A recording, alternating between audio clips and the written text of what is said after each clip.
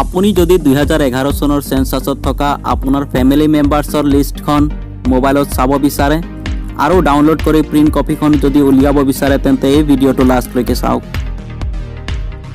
ভিডিঅ'টো ষ্টাৰ্ট কৰাৰ আগত আপোনাক এটা ৰিকুৱেষ্ট কৰিব বিচাৰিছোঁ। যদি আপুনি এতিয়ালৈকে আমাৰ চেনেলটো ছাবস্ক্ৰাইব কৰা নাই তেন্তে তলত থকা ৰঙা ছাবস্ক্ৰাইব বাটনটো ক্লিক কৰিব আৰু বেল আইকনটোত প্ৰেছ কৰি ছাবস্ক্ৰাইব কৰি ল'ব।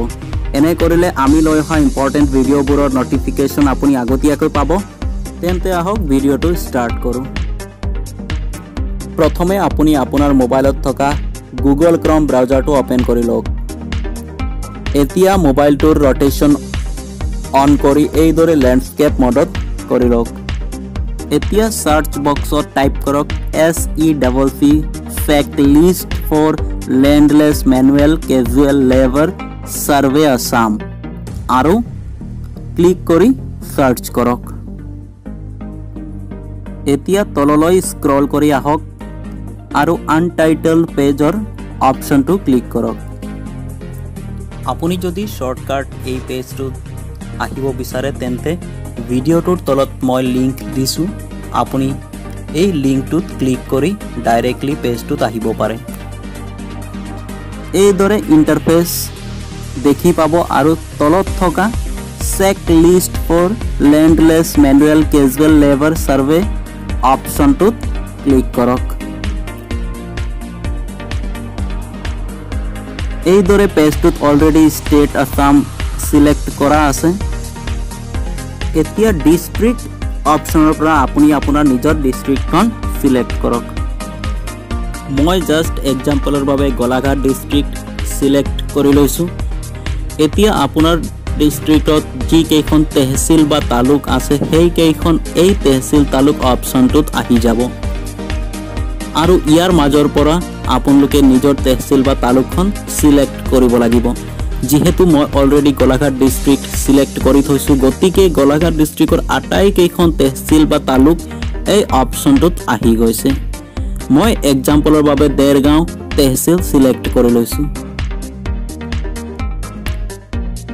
এতিয়া নেক্সট অপশ্যনটো হ'ল গ্ৰাম পঞ্চায়ত।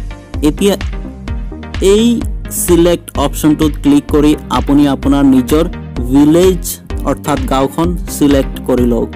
যিহেতু মই দেৰগাঁও তেহচিল চিলেক্ট কৰি থৈছোঁ গতিকে অপশ্যনত দেৰগাঁও তেহচিলৰ সকলো ভিলেজ লিষ্ট আহি গৈছে।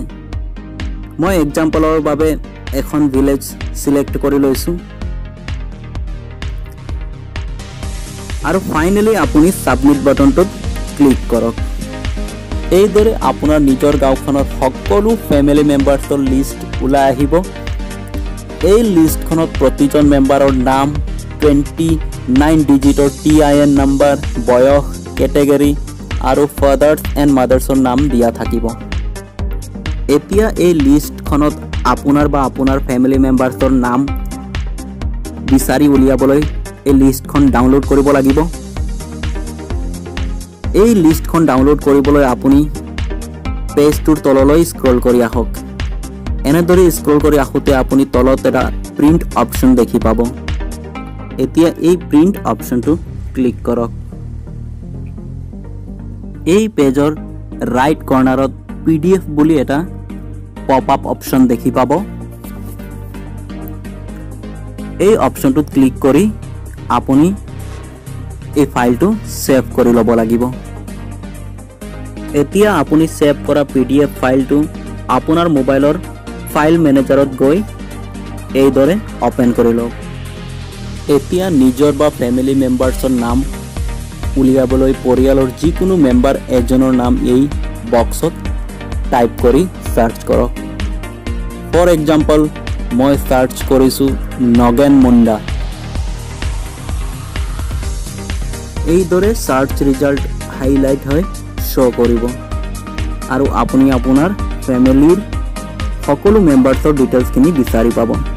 গতিকে দৰকাৰ অনুযায়ী লিষ্টখন প্ৰিণ্ট কৰি উলিয়াই ল'ব পাৰিব।